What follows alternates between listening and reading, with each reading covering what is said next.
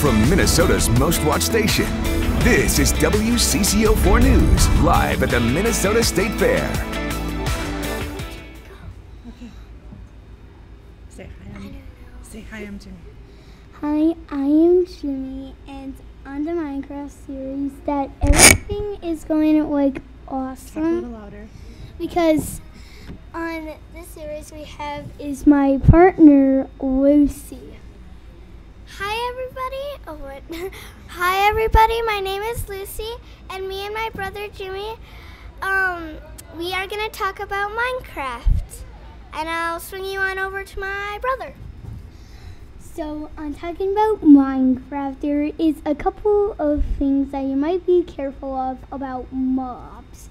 Mobs like zombies or skeletons or spiders, and um, they um want to like kill you if you're in survival, because that's how they work, not in peaceful. Lucy. Survival is a thing where you have hearts and a hunger bar. A hunger bar is something like you have when you need to eat food.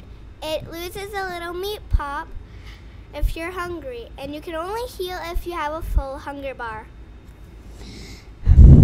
But so if um if if but a creeper can like blow up and it will lose some of your hearts. The only way to get back your hearts is by eating food.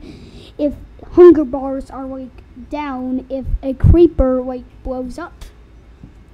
And a creeper is a really creepy green thing, and it it has TNT. Oh, we're almost done.